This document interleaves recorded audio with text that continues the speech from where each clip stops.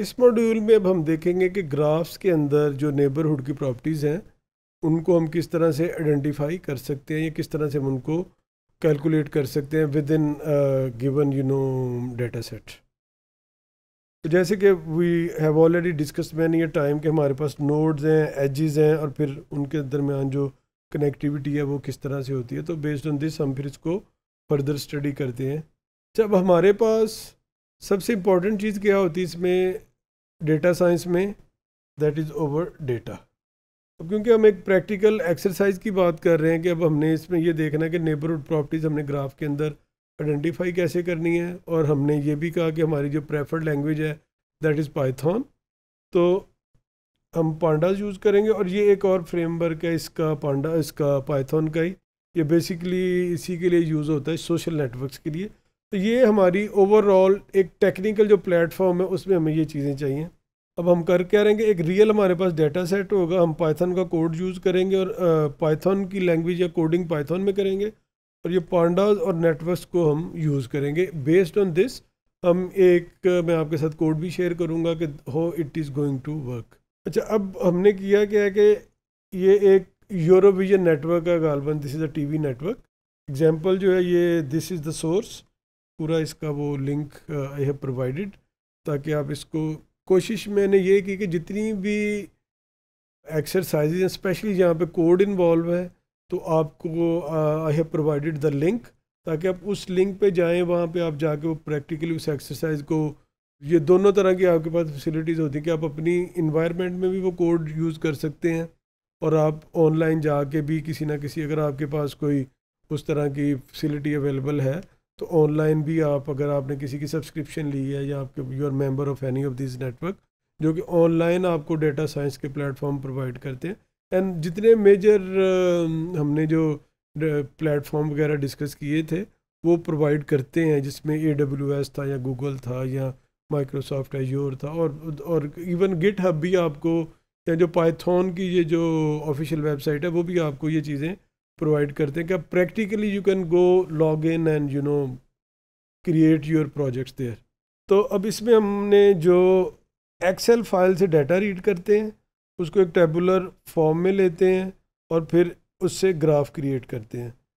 Generic method for visualisation का जो वो हमने यूज़ करना है। तो अब ये देखिए, इसमें ये जो वोट्स का डाटा है, ये पूरा कोड आपके सामने अवेलेबल है। आप इसको मे बी कॉपी करके भी रन कर सकते हैं और आई वुड स्टिल रिकमेंड कि आप इसको टाइप करें अपने हाथ से तो you will have a different feeling बेशक कोड आप एक कंप्यूटर से देख के या एक विंडो से देख के दूसरी में लिखें बट आप इसको टाइप कीजिए अपने हाथ से तो it it will boost your confidence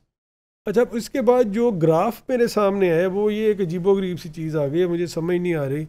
कि अब what should I do with this क्योंकि ये काफ़ी यू नो ठीक है, ये कुछ ना कुछ तो बता रहा है बट इट इज़ नॉट क्योंकि ग्राफ का या जो विजुलाइजेशन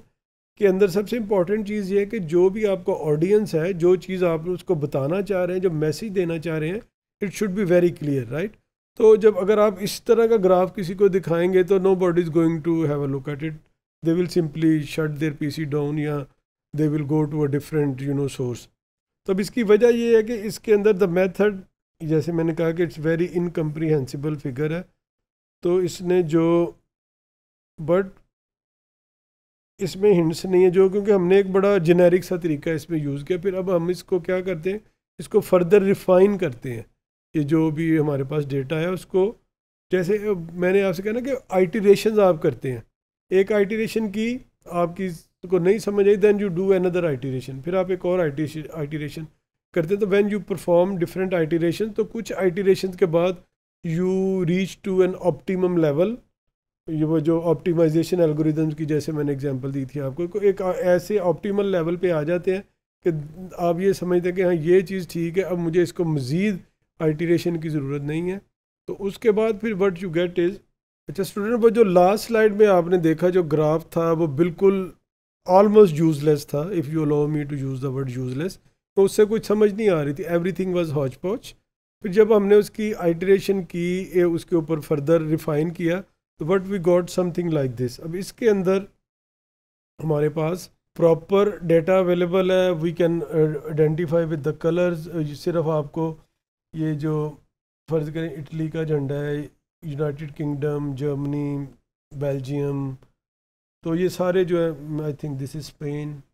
खैर, मकसद ये कि आपको ये सारे जो, अब आपको ये पता चल रहा है कि यूरोविजन के जो वोट्स हैं किस किस कंट्री से कितने कितने हैं। अगर आप इसको फर्दर रिफाइन करें तो वी कैन नंबर भी हम इस पर ऐड कर सकते हैं। और maybe this one country शायद इसका हमारे पास डाटा मिसिंग था। तो ये ये भी एक इंटरेस्टिंग फैक्ट है इसके अंदर के।